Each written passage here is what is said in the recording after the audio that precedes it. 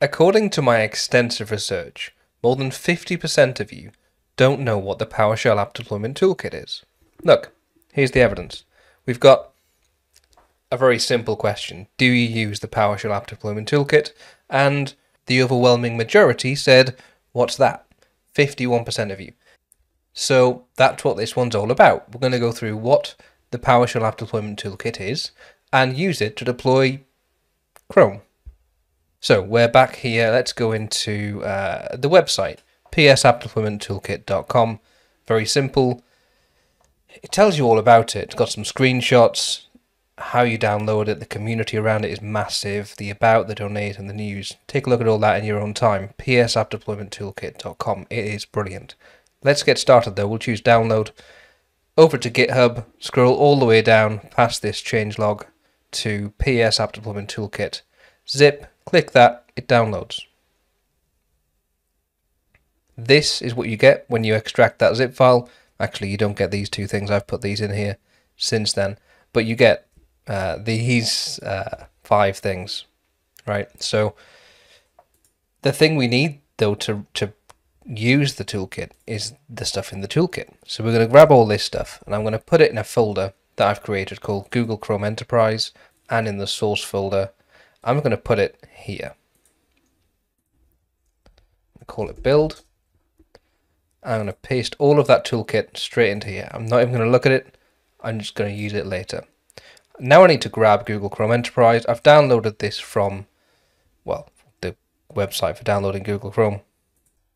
ChromeEnterprise.google. So brilliant, they've got their own top level domain. So we're going to choose Get Chrome Browser and scroll down a little bit and you get the options here. So we're going to go with stable as opposed to beta. Uh, MSI because that's brilliant. 64 bit and then choose download and accept and download the terms of use. And just download this 64 bit MSI for us. Once that's done, just grab it and put it in the right place. So I'm going to put it in this build folder and I need it to go in the files folder of this toolkit. So in files, right click and paste, and there is our MSI. Now it would be really simple to just use Intune to deploy the MSI, right? So we could just go into the apps section in Intune and deploy the MSI really simple. But that's that wouldn't be using the PowerShell app deployment toolkit. So let's take a different scenario, right? We want to deploy the MSI, but we need a little bit more control for whatever reason. Let's have an example.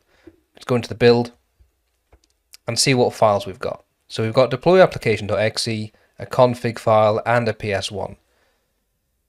Those are the only things you really need to know about. In fact, the only thing you really need is this deploy application PS1. So that's what we're going to take a look at in a few seconds. But for now, let's have a quick look in the app deployment toolkit folder. This is all customizable in here. You can change the banner that gets created by default. You can add some additional language and um, support text in the XML here. You can add in additional extensions. There's loads of customization you can do, but this would need to be transported around with all the different packages that you create with this toolkit. For now, I'm going to leave it as standard just so you can see what the standard is. Go back to build, and in files, that's the, the file I've just put in there. Those are the key files for this installation. Support files, if you do have any additional files that you need in order to support this installation, then you can put them in there. And then you've got deploy application, you've got the config, and then you've got deploy application PS1. Let's take a look at deploy application PS1. So here we are. And we need to start at the top. Very simple. Loads of description here. Loads of examples here. It's brilliant. Scrolling down on, we can see we can put some additional metadata in here. So we'll call this bit Google. The app name is Chrome Enterprise. The version is app version 99. Architecture is x64. Great. And the date is today's date. Okay, good.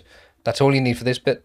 Next, we have the uh, the start of the script. So little bit of logic here. If the deployment type is not equal to uninstall and the deployment type is not equal to repair, then do this. So effectively, if we're installing and not uninstalling or repairing, then let's do this. So this is the phase called pre-installation, and we're going to do something, which is the show installation welcome function. We're going to close any apps with this executable, and then allow the user to defer, allow them to choose to defer three times, check the disk space, and then persist the prompt for the user if they keep if they just ignore it. It'll re it'll keep re reappearing on the screen for them. And then once that's done, we're going to jump down to show installation progress. And then the pre-installation tasks can go here. So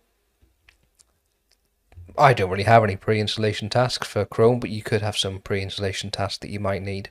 But let's assume that I'm happy with this. Apart from iexplore, I don't really need Internet Explorer to close for me. Um, but perhaps I would need Chrome to close because if they were running an existing version of Chrome and I'm going to install a new one over the top, I can get it to close Chrome for me.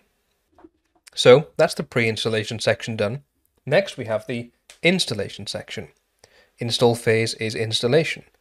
Now we've got the option here of using zero config MSI installations and whilst I am using an MSI, I want to show you how you can configure this a little bit more than just zero config. So let's do some config and also I quite like the fact that if we do some configuration that is explicit within the code, then we don't need to explain it and comment it. It's very obvious what's going to be happening. So let's jump back in and take a look. I'm not going to do this zero config installation thing. I'm going to leave that there. It is possible to use. Take a look at the docs, but I'm just going to not use that. Perform installation tasks here. And so for this, I need to start a little bit of code, right? So I'll type what we need and I'll show you how you get that. So we go for execute MSI and the action we're going to use is uh, install and the path for the install, install installation is uh, wait it's the name of my Chrome installer from files which that's a big that's a long long name grab all of that Put that there. Great. Put quotes around it, just in case it's got space, but it doesn't in this case, which is good practice. And there we go. So we don't need to say quiet. We don't need to add any additional formatting around that in order for it to be silent. PowerShell App Deployment Toolkit knows all around how to do that. So it's just going to do it for us by default. So that's that. But how did I how did I get that right? There's there's no there's no clear information within this script how you put that in there. Let's take a look. Straight back over to the toolkit here. We've got this PDF, right? So all the stuff I've been through already is explained in this PDF, but let's jump into it for now and take a look at what it says. So really good documentation here. Execute MSI. A few bits here, and there's a fantastic piece of documentation here. So it this function that I'm using execute MSI exec to perform the following actions and you can use it exactly like this. This is exactly what I've just done. Very simple. Really simple to use. So that's what we need to do. Let's go back to the code. That's what we're going to do, right? It will install this file for us. So post installation, do we need to do anything? Not really. In this case, I don't need it to happen. Um, so if, if we're not using the default MSI, we can show this, it will show this installation prompt and the text will be, you can customize this to appear at the end or remove it for completely unattended installs. So, I mean, I can just remove that, I think. Yeah. Yeah, I think I'll just remove that. Don't want that in there. I don't need that at all. Great. And then next we've got the pre-uninstallation. So if we're uninstalling this application, so we're going to go with Chrome, so it'll close and it'll give you the it'll give the user a 60 second uh, countdown on closing Chrome. And then any pre-uninstallation task, any anything else you need to do before uninstalling it. And then again, we've got this zero config MSI on installation, which is not what I'm going to do. Instead, what I'm going to do is execute MSI. Action is uninstall. And again, the path is that Chrome setup. Nope. Chrome setup. Grab it from the installer. Awesome. All done. Okay, so then the post installation tasks are here. Then if we need to repair, we've got these repair tasks here. There's the default MSI uh, if, if we want to use that instead. And then that's it. So then we can have some exit codes. If we want to use exit codes, we can. But for this, let's just leave the basic ones there. So 6001 is if there's an error. All good. So we'll save this script and jump down to the Google Chrome Enterprise source build and here we have this. We've got this we've got this file that's just been saved. All good. Right so now we need to run this. So now it's over to Intune right? We need to get this um get this packaged up and then into Intune. So hopefully you remember from the previous video how to package up this file as a Win32 app because that's what we're going to be using so let's jump into that so we're going to head over to the Intune app creation folder, choose Intune WinApp Util, and then very simply grab the source folder. Okay, so we're going to go into PS, PS App2One Toolkit, Google Chrome Enterprise, source, and this is the folder here. So we're going to grab all the content of that folder. Nice and simple. Setup file. Loads of options here. We can use the executable, PS1, but the, the cheat, right, is going to use this one here because that will help us with the detection method later on. So let's grab that here you can see it is called that. Now, we already know the start of this path because we've told it what the source folder is. So we just need the addition there, which is files.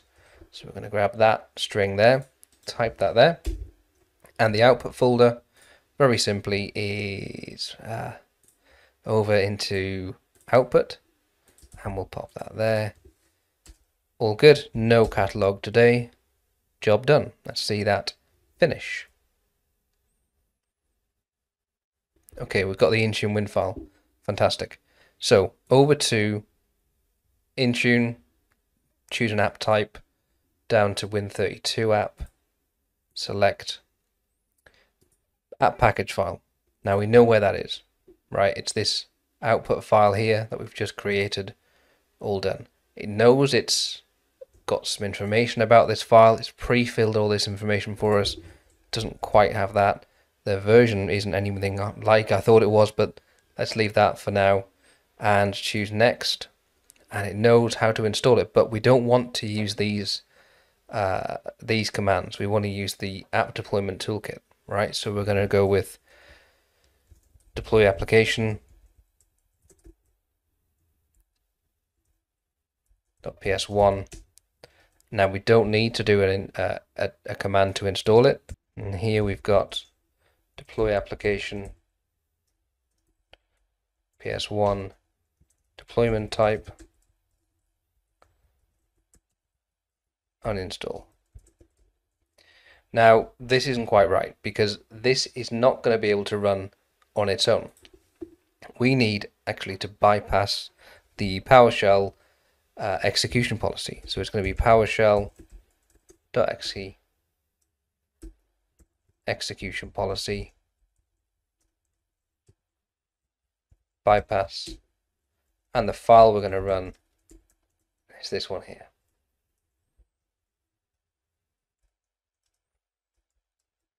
There we go. So that's that.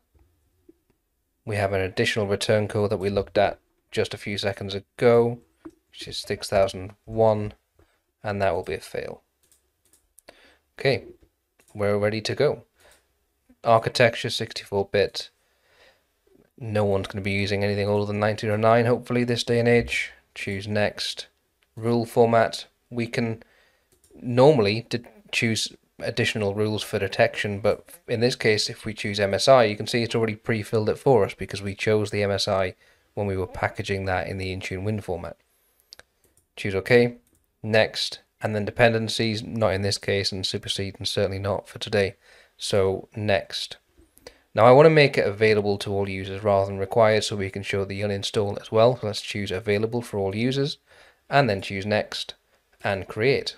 I'm going to go ahead and upload that to Intune so that we can make it available to our end users. And that is it. I mean, it's sim it's really quite simple to use and it's a fantastically customizable piece of kit. The PowerShell application deployment toolkit is brilliant. I haven't got a load of time to go into all the customization you can do, but if you need to do any additional things when you're installing an app other than just install it and maybe uninstall it, then the PS ADT is awesome. See you next time.